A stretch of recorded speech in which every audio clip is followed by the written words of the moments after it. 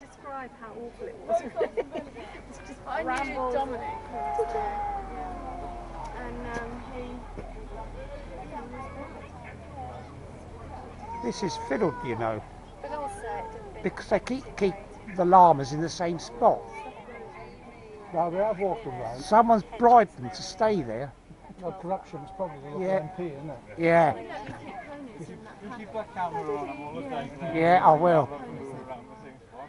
Just in case they drop a sneaky one. sense if something was wrong because couldn't see. Can't walk in this year, no. But you know, I only would go up there once a week and see. run. And Is it more or less? and he was very, very sweet. He, he was a funny character because he would, you'd see him go down the road, and for like three years, oh, I made a point of saying, "Oh, Dominic, she."